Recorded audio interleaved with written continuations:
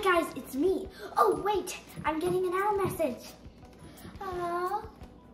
It has a, a mug. Ooh, and inside the mug, what's this? It's a message. It says, do some magic. Drop hot water into the cup. Albus Dumbledore. Well, let's see what happens. So this water is really, really hot, like old Dumbledore said. I can afford it. Wow, look at that steam. Wow, what is that? Oh my gosh. Oh my gosh.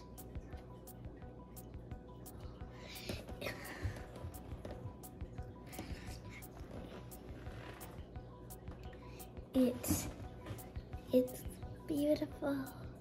It's the Marauder's Map. What a splendid magic trick. Okay, so that was amazing. Uh, but we all know, as much as it seems like magic, there's some science behind it. But I may be only saying that because we're muggles. So anyway, let's make our own color changing cups. As you can see, there's a black heart in the cup.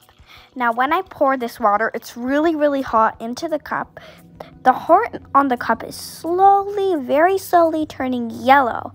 How cool is that?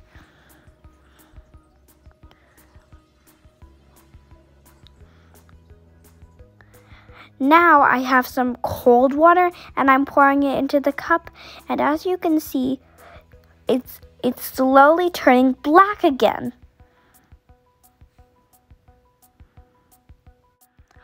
OMG. Wow, this is science-tastic. Let's find out how this happened. Okay, so it was my dad's birthday and I wanted to show him a color changing mug.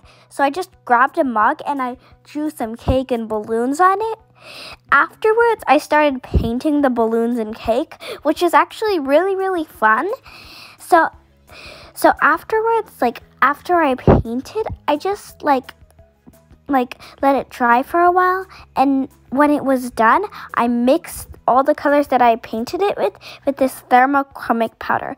So let's say I painted yellow, then I mixed yellow with this thermochromic powder, then I painted where I had painted yellow with the thermochromic powder. So I just paint over it. So after I was done with that, which it kind of took a while, you just set it to dry, and that's like all you do.